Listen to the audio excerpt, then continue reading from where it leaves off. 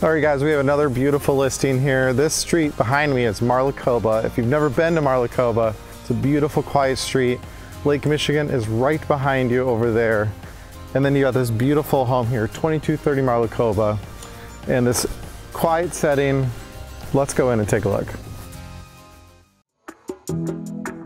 And then inside you got this beautiful living room here behind me, great for entertaining, which flows into your dining area here. And as you can see behind me, you got this beautiful galley kitchen, granite countertops here. I love that dark black granite, stainless steel appliances. And then if you come back this way even further, you've got a laundry room over here.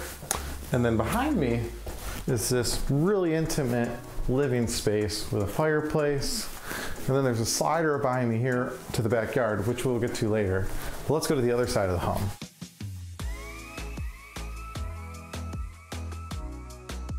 In here you have what would call the master bedroom. You got this big bedroom space here. As you can see, this is a king bed in here. Then you have this nice closet area back here. And then if you come into here, you can see the second guest bedroom. All these bedrooms are decent size. This one's being used as an office right now. You have a closet over here. Then if you come this way, you'll see the third bedroom over on this side.